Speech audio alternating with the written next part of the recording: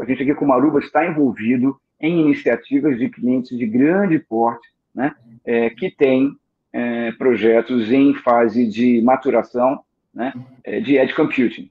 É, ou seja, é, projetos que colocam ali estruturas computacionais, né, ou a névoa, né, ou a, a névoa, é, dentro das redes metropolitanas. A gente vê esses projetos avançando, sim, mas eu acho que eles só vão ganhar impulso, de fato, quando outros drivers começarem é, a, a impulsioná-los. Né? E aí, novamente, 5G vai ser um deles, é, não é, talvez não seja o único, mas com certeza, é, em larga escala, aí sim vai fazer com que a gente perceba mais claramente a multiplicação desses ambientes de, de computação de borda. É a questão das aplicações também? É preciso mudar as aplicações?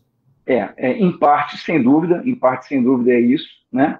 É, e algumas tecnologias, né? É, em particular, quando a gente fala de, é, de sistemas é, analíticos com, com apoio de inteligência artificial, quando a gente fala de realidade aumentada, né? As aplicações de indústria que vão se beneficiar disso, é, de telemedicina, ainda precisam de, de um pouco mais de tempo para maturar, mas eu acho que do ponto de vista de conectividade, é, sem dúvida alguma, serão ali é, tecnologias como o 5G que, vai, que vão acabar puxando, é, ou melhor, impulsionando adoção em mais larga escala de edge computing.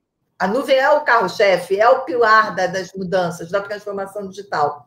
Como é que se enxerga a nuvem no Brasil em 2022, nesse cenário que a gente vai ter, que a gente está tendo, né, de alta do dólar, de, de eleição, que a gente vai ter impacto? Como, como é que se entende o essa questão do budget de TI no ano que tem tantas coisas importantes acontecendo. Sim, sem dúvida. É, bom, a minha perspectiva é, é, a seguinte: bom, nuvem vai continuar crescendo, né?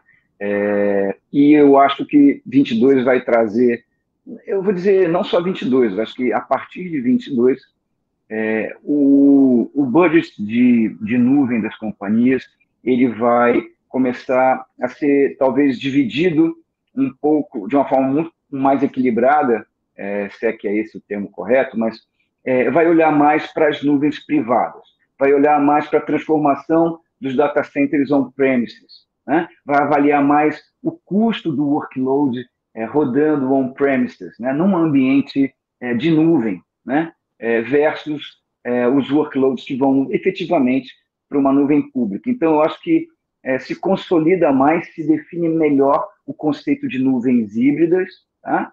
E vai haver, e isso com certeza vai impulsionar um, um, um refresh, né, uma, uma atualização é, dos data centers é, on-premises. Acho que esse é um, um, um ponto que, que vai marcar 22 ou a partir do ano de 2022.